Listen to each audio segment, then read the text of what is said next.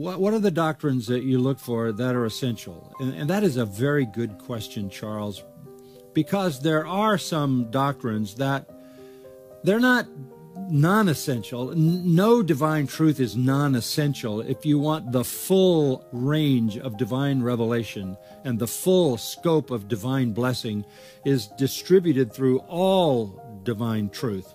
But there are some doctrines that are not necessary for salvation. One of them that comes to mind might be the form of baptism. Some sprinkle, some pour, and some immerse that's not a salvation issue, biblically speaking. Um, there are some doctrines that have been established in terms of how a church is run. Uh, there are varying views on how a church should be structured. There are people who differ on spiritual gifts and how they function. Those are not essential to salvation. But when you're thinking about essential doctrine, you're thinking essentially about the drivetrain of salvation. So, what is that?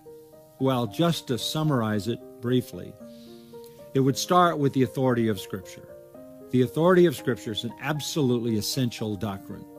Because if you do not believe in the authority of Scripture, then you don't know that you can trust what it says, and all is lost. So, the most important of all doctrines is that the Bible is the Word of God and it is absolutely authoritative and inerrant.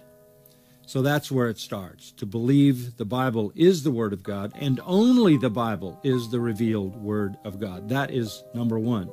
Now, if you think about it, that is the very doctrine that is most under attack in the society because the enemy knows that. Satan knows that. That if you can undermine people's confidence in God's Word, everything is lost.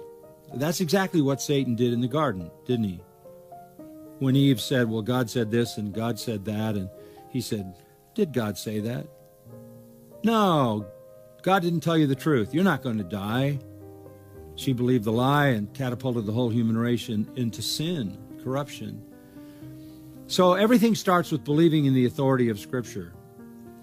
From there, you look at Scripture and say, what are the essential doctrines in Scripture? First, God, the nature of God. The writer of Hebrews says, He that comes to him must believe that he is.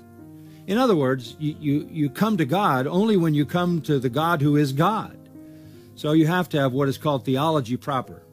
In studying theology, we start with the category of bibliology. The Bible is first. And then we go to theology proper, which is the study of the nature of God. That's the second very essential cardinal category of truth. So, if you, for example, deny the Trinity, you have invented a God who is one, and that's not the true God. You're calling him God, but you're worshiping Satan or you're worshiping demons. False gods are concoctions of the kingdom of darkness. So you have to come to the true God, who is Father, Son, and Holy Spirit, one in nature, three in persons, the God who is revealed in Scripture, the true God.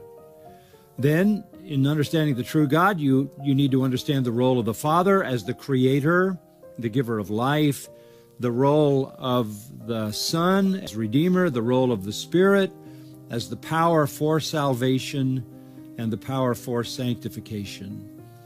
So, a Trinitarian understanding of God. Then you come to Christ. What do you believe about Christ? That he is virgin born, that he is God and man.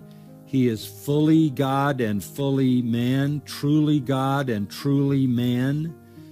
That's who he claimed to be.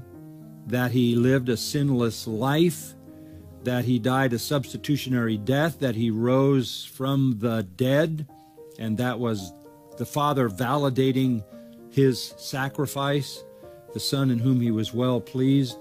The validation of his having accomplished our redemption is the Father raising him from the dead, that he ascended into heaven, and that he reigns there and will return again.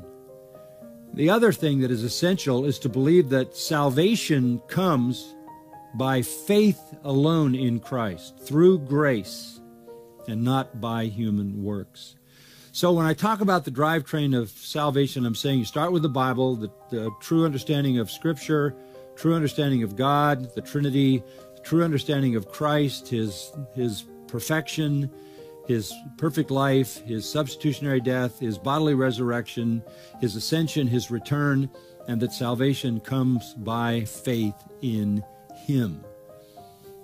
That is the category which we would say is absolutely essential doctrine.